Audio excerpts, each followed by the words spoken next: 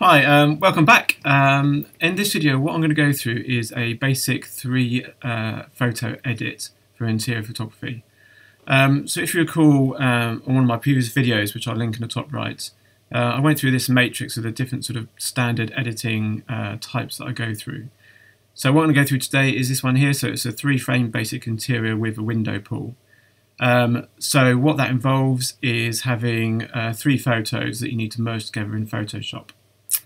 Um, so if you've looked at my previous video um, where I talked through the color grading um, and my down selection, um, what I have is um, blue that indicates the photos that have yet to be processed, uh, and a one star meaning that um, you they have yet to be done as well. key thing to see here is how I capture the photos and the sequence I capture the photos flows all the way through uh, into Lightroom, and then into Photoshop and the actions I use in Photoshop and then back into Lightroom. So what you'll see here is that I've got it in descending order uh, by capture time. So that means that um, this photo here, the last one to be listed, is the first photo that I actually took um, when I was on location. So the sequence of these photos um, in order is um, flame, a frame for uh, the view. So that's the window pull um, using the darken technique. So I flash the the, the, um, the windows as well, uh, so that the view is darker than the interior. Uh, and then the, the, frame before that uh, is the flashed frame for the interior, and then an ambient frame. So the first thing I do is select all of these, uh, and then right click, edit in, open as layers in Photoshop. So once the photos have loaded into Photoshop, um, so what you'll see is the sequence of the layers is that the, the window pull layer is on top, um, followed by the interior flash frame and the ambient frame on the bottom. So the first thing I always do um, with my actions here is to align all the images. So literally just press that button and that goes through and lines all the images. So once they're aligned, what I have is uh, an action that goes through and does um, a 50-50 flambient uh, technique, um, which you will find uh, with Nathan Cool and others have um, talked about. Um, so what it does is actually reorder the layers. So uh, what we have now is the flash frame on the bottom, um, and then the ambient frame is in the middle above that, um, with the luminos the blending mode set to luminosity, with the opacity set to 50%, um, so again, sometimes you may need to adjust that depending on how strong the flash layer was that you're using. Um, and then on top is the window pull with a black layer mask. Um, so currently that, that layer isn't showing anything.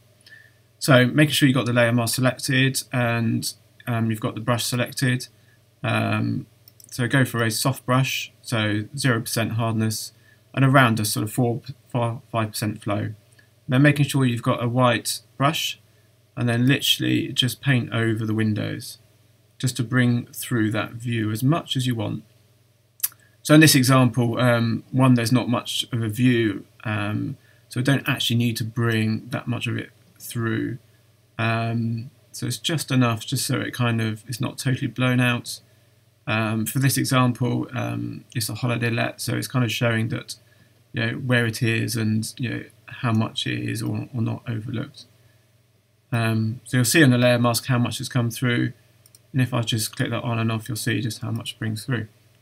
So once I've done that, um, one thing that I do find is um, because of the colour temperature differences between the room and the outside is um, the view that you've pulled in can be a bit too blue. Um, so what I have is an action that basically warms um, that layer um, just to bring back some of the orange. So it's bringing you know, the Kelvin somewhere more in line with a typical outside view. Um, so once I've done that, um, I will then merge all the layers using a flatten all action. And then what I have is an action that um, gives it a, a, standard bump. Um, so others uh, have already uh, termed that phrase, so it's, it's copied from them. Uh, and what this action does is actually take the photo, open it in Camera Raw, and then apply what is a Lightroom preset um, to the photo. So, and that sort of you know, increases the shadows, decreases the highlights, also applies some sharpening. uh, and things like that. So if I just click on that, it goes through, um, you won't see anything happen other than actually the final image.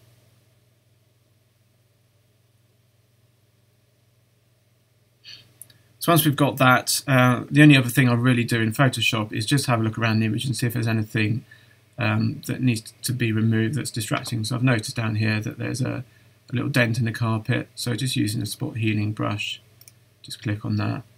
And I noticed on the wall there was something around as well. I can't see that at the moment. Um, so the other key thing that I look out for is where there's any strong colour casts. Um, so because this is a fairly sort of um, neutral room, um, there there isn't too much. But if you look at the the bed sheet, you know, it's a white bed sheet, but you can see a blue tinge on there. So I do have an action that cuts out all of the blue channel. Uh, and again, what you can do, um, so for instance, if you've got a blue sky, is then you can bring that back just using the layer mask. Uh, but for this example, there's no real other blue in the room that I need to bring back. So I'm happy with um, how that, that makes it. So then go and flatten the image again, and then Command W save to um, save the photo and to bring it back into Lightroom. So once we're back in Lightroom, um, what I then do is just do any sort of final tweaks. Uh, so going into the develop module and just looking at the photo. So a couple of key things I look at is just how the overall exposure looks. Um, so I generally will boost that up a bit you know, um, and I have the white clipping turned on, um, so you can uh, click on that to show that. Um, so generally, I'm trying to get the histogram sort of with the majority of the image in the sort of you know, the top third um, of the histogram.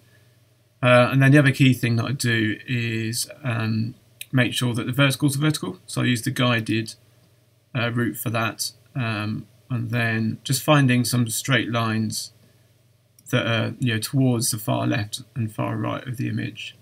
So just click and drag uh, the guides down just to make sure that you've got those as vertically as you can get them.